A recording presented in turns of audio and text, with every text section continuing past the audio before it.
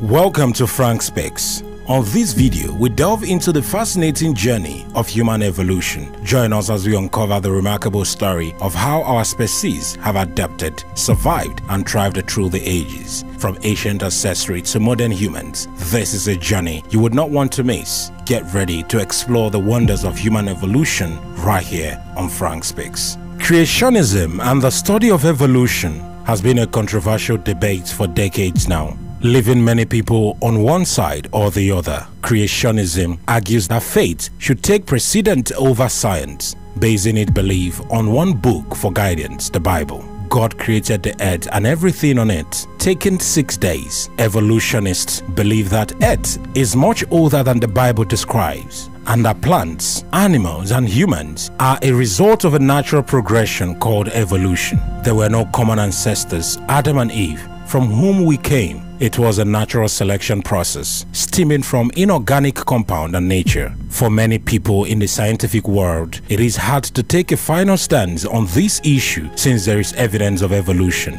But that is where faith in God and what God has done comes into effect. According to a great medieval philosopher, Moses, conflict between science and the Bible arises from either a lack of scientific knowledge or a defective understanding of the Bible.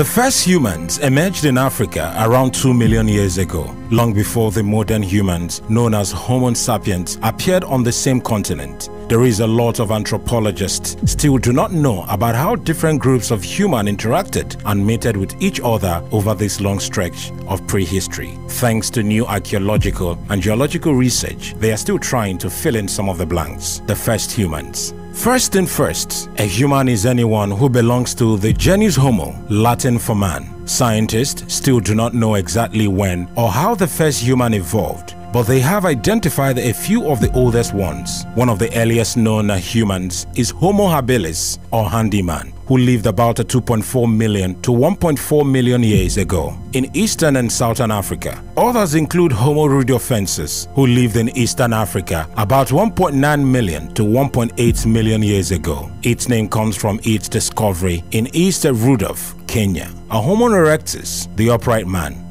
who ranged from eastern Africa all the way to modern day China and Indonesia from about 1.89 million to 110,000 years ago. In addition to these early humans, researchers have found evidence of an unknown super group that separated from other humans in Africa around 2 million years ago. These super archaic humans mated with the ancestors of Neanderthals and Denisovans, according to a paper published in Science Advance in February of 2022. This marked the earliest known instance of human groups mating with each other, something we know happened a lot more later early humans, Neanderthals, Denisovans mixed it up. After the super archaic humans came the archaic ones, Neanderthals, Denisovan and other human groups that no longer exist. Archaeologists have known about Neanderthal or Homo neanderthals since the 19th century, but not only discovered Denisovans in 2008, the group is so new it does not have a scientific name yet. Since then, researchers have discovered Neanderthals and Denisovans not only mated with each other, they also mated with modern humans.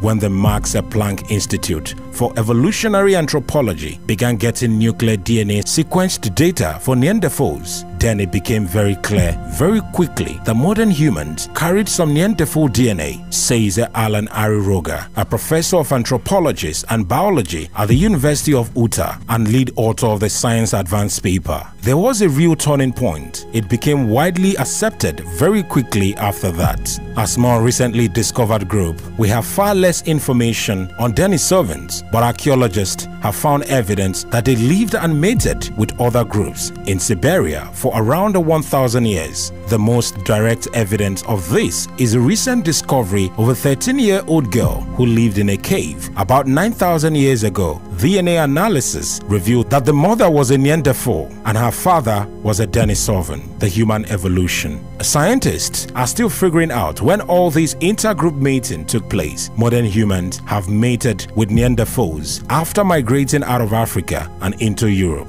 and Asia around 70,000 years ago. Apparently, this was no one-night stand. Research suggests there were multiple encounters between Neanderthals and modern humans. Less is known about the Denisovans and their movement. But research suggests the modern humans mated with them in Asia and Australia between 50,000 to 15,000 years ago. Until recently, some researchers assumed people of African descent did not have Neanderthals ancestry because their predecessors didn't leave Africa to meet the Neanderthals in Europe and Asia. But in January of 2020, a paper in Cell appended that narrative by reporting that modern population across Africa also carry a significant amount of Neanderthal DNAs. Researchers suggest this could be the result of modern human migrating back into Africa over the last 20 years, after mating with Neanderthals in Europe and Asia. Given these type of discoveries, it may be better to think about human evolution as a breeded stream rather than a classical tree of evolution, says Andrew C., a postdoctoral researcher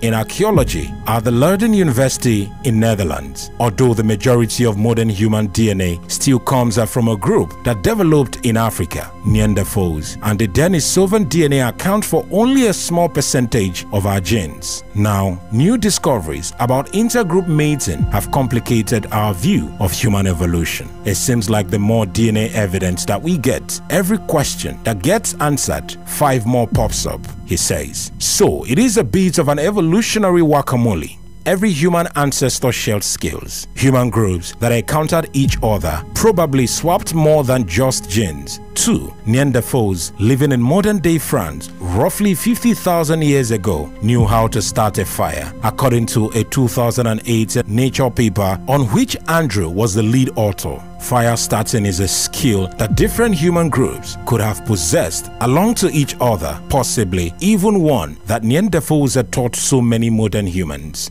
These early human groups, they really got around, Andrew says. These people just moved around so much that it's very difficult to tease out these relationships the beginning of the earth, along with the birth of humans, is one of the biggest and most contentious issues among creationists and evolutionists. Scientific theory holds the opinion that the universe is eternal while the Bible states that there is a beginning. It has been proven that there was an official beginning. The question that arises is when the exact beginning took place. A time where there was neither time, nor space, nor matter. Christianity uses the Old Testament to describe the beginning of life. In the span of six days, God created the heavens, the earth, the sun, moon, water, animals, and ended with the finale of human beings. Other major events, such as Noah's flooding, occurred along the lifespan of the Earth, accounting for the distribution of fossil and the information of the Earth's layer. St. Augustine of Hippo, who was raised a Christian and later became a member of Manichaeans, believed that the Old Testament was nonsense. He believed, therefore, that organic forms were potentially in a kind of seed form and realized actually when the condition were right, when the seas appeared for instance. Augustine believed that God created everything in one move. Conception,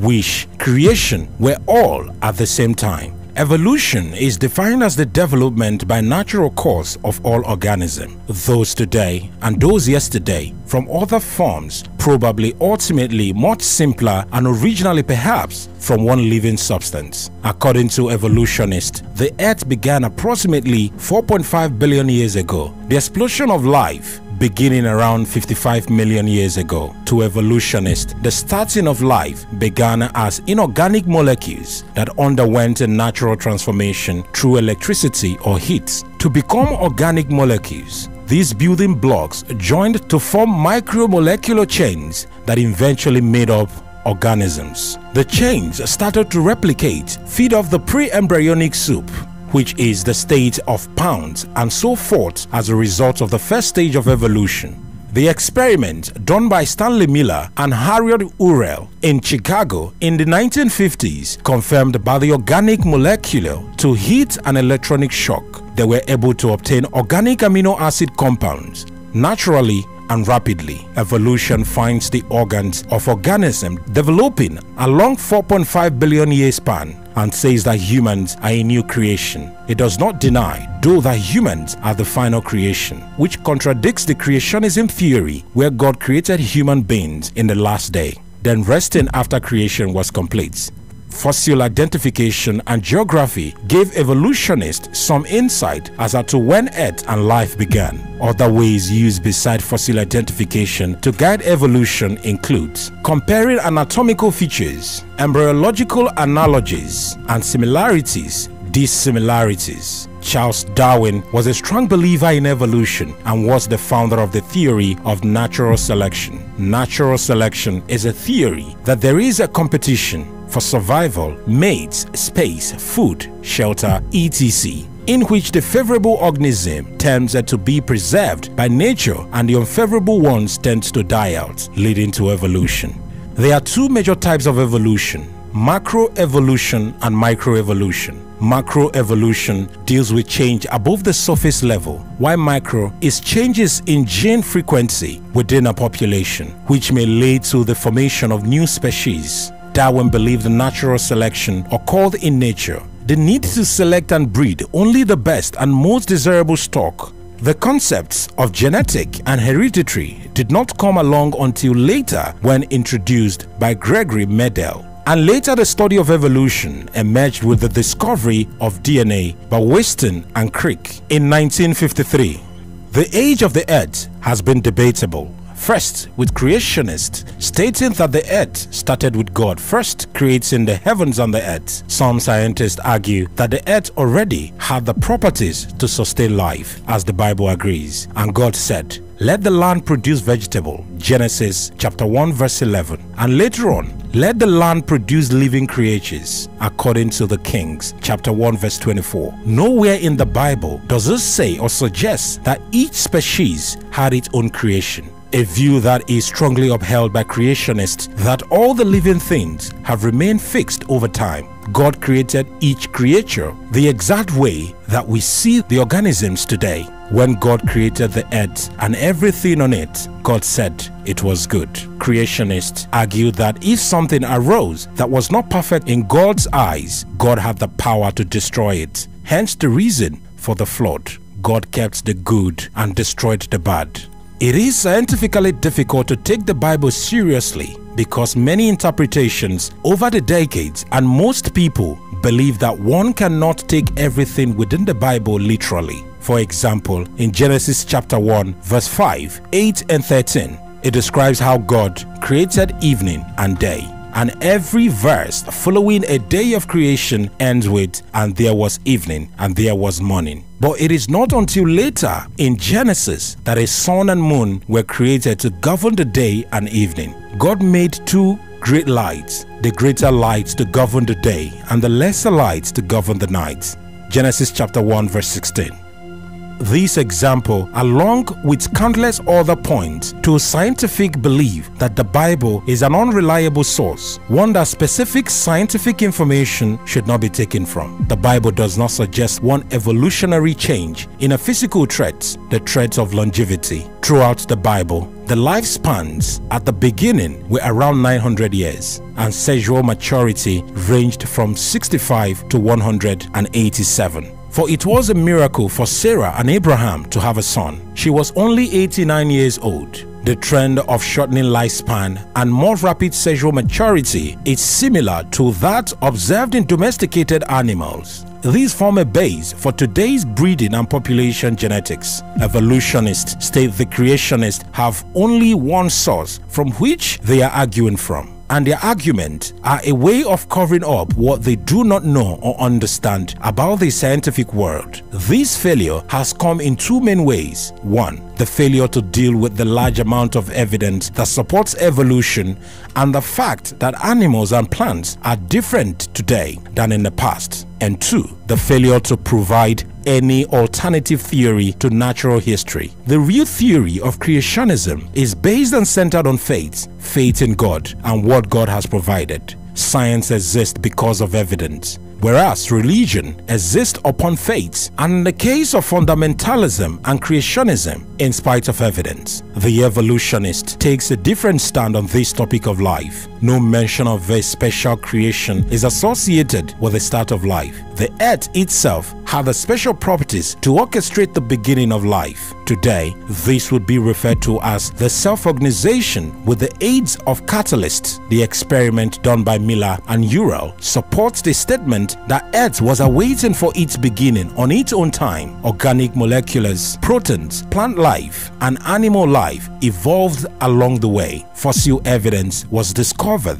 that showed life started immediately on a cooled Earth. Fossil shows a variety of species and shows species evolving into other species, intermediate or transitional species. The fact of the matter is that the fossil record not only documents evolution, but that it was the fossil record itself which forced the natural science to abandon the idea of the fixity of species and look instead for a possible mechanism of change, a mechanism of evolution. For example, the human develops similar to a reptile with a few modifications that make the human species unique. Yolk sac to fish eggs to having a tail through a three-chambered heart like a reptile to a four-chambered heart to a reptilian double jaw joint to a skin fold to covering of hair to having human characteristics. One argument against fossil evidence is the idea that fossil dating could be inaccurate. Fossil dating is done using carbon-14, which for it to be of value,